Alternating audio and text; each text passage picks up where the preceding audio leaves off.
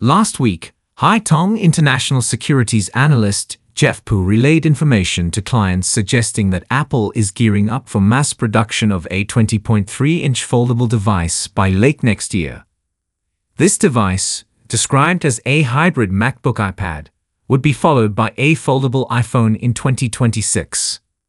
Earlier reports hinted that Apple was leaning towards a foldable MacBook due to concerns about the fragility of a foldable iPhone screen for pocket-sized use.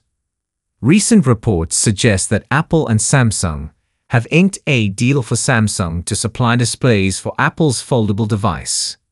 It's unclear whether this deal covers the hybrid device, the foldable iPhone, or both.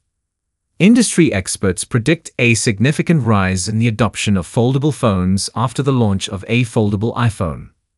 While TrendForce projects a global foldable smartphone shipment rate of over 5% by 2027, this estimate doesn't account for Apple's entry into the foldable market. Pu's report revealed that Apple is experimenting with two internal screen sizes for the foldable iPhone, 7.9 inches and 8.3 inches, slightly larger than the Galaxy Z Fold 5's 7.6-inch screen. It seems Apple is developing a book-style foldable iPhone that opens and closes around a vertical axis. According to Pu, Apple has expedited its foldable device development due to increased visibility of foldable components in its supply chain checks.